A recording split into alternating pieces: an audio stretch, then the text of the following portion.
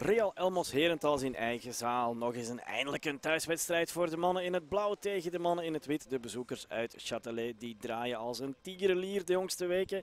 Dit wordt een heel interessant duel tussen twee teams die de top 4 willen halen. Luis Aranja die weet dat het uh, goed draait bij zijn team. Yves Heremans die uh, weet dat er uitzegens werden geboekt bij onder andere Jette. Maar Châtelet was uh, dominant van in het begin. Fassi met een slechte bal. En Talawi die nog met wat geluk de 0-1 uh, kan keren. Maar van uitstel komt geen afstel. Het is uh, Talawi die uh, doet wat hij kan daar in de goal. En die dan ziet dat dit de enige kans zo'n beetje was voor Herentals. En dan toch de 0-1. Dus Jacquier alleen gelaten schuin voor doel. En dit is dan ook Talawi te machtig. De 0-1 van uiteraard Dujaké, de topschutter in de Bedcenter Futsal League met zijn eerste.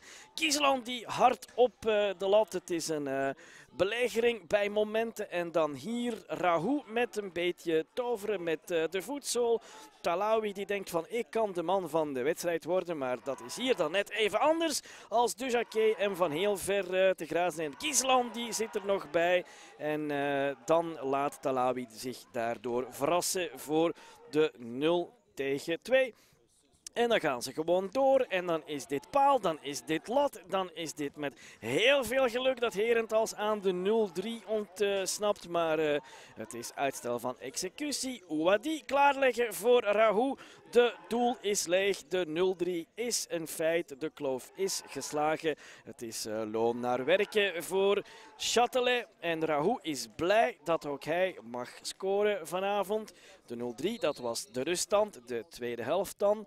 Met uh, deze mooie dubbele 1-2. De 0-4. Ouadi de aanwinst. Een van de twee mannen die gekomen is. Cordier is de andere voor de 0-4. En dat is dan uh, Boeken toe. Vroeg in de tweede helft. Franke met balverlies.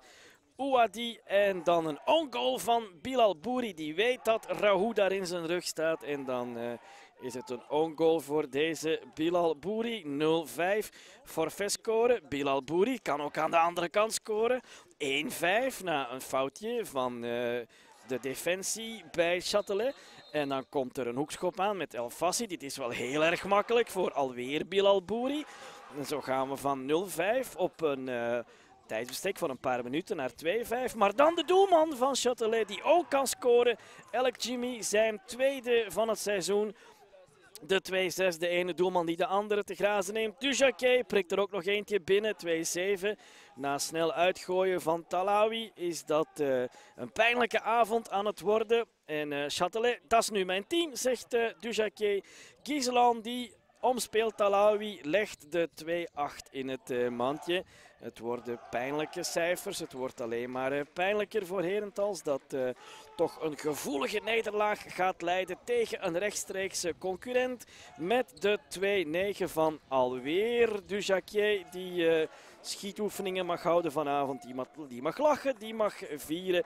2-9 is de eindstand. De vreugde is er voor Châtelet. Met drie punten gaan ze de bus op terug richting het Zwarte Land. Zij zijn in vorm, zij gaan heel lang meegaan voor die tweede plaats. Châtelet. On continue sur la bonne lancée de 2022 avec encore une fois une prestation très euh, impressionnante collectivement et surtout offensivement.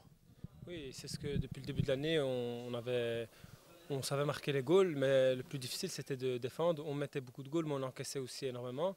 Et là maintenant on a retravaillé avec les deux nouveaux joueurs qui sont arrivés, Soulier et Matteo.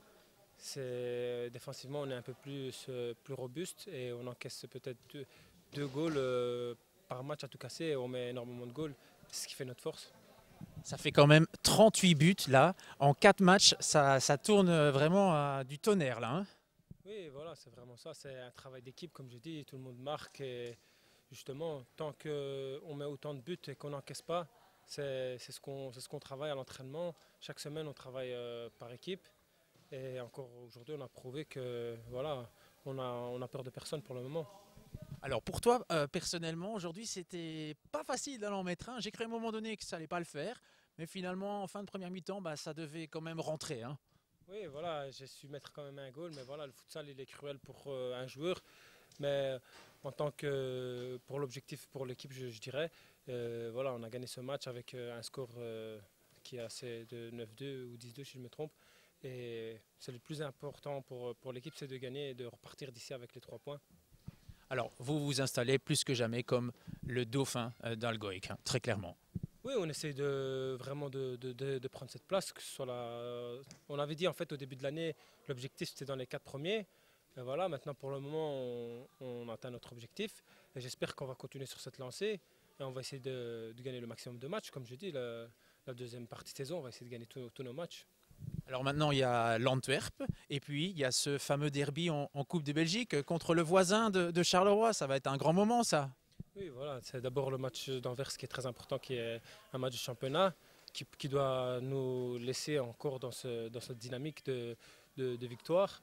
Et on doit, on doit surtout pas, pas flancher pour ce match. Et après, la semaine d'après, on a la coupe qui est encore, qui est, qui est encore plus important parce que c'est un match en élimination directe. On perd, c'est fini pour la Coupe de Belgique. Donc on, va se concentrer la première semaine euh, sur euh, nos adversaires qui sont en verse. Et la deuxième semaine, on va, on va étudier euh, Charleroi. Après, voilà, c'est une équipe où j'ai joué beaucoup. Voilà, ça fait toujours plaisir de jouer à un derby. il n'y aura pas de cadeau sur le terrain, hein, même si ce soit mes amis en face. Merci beaucoup.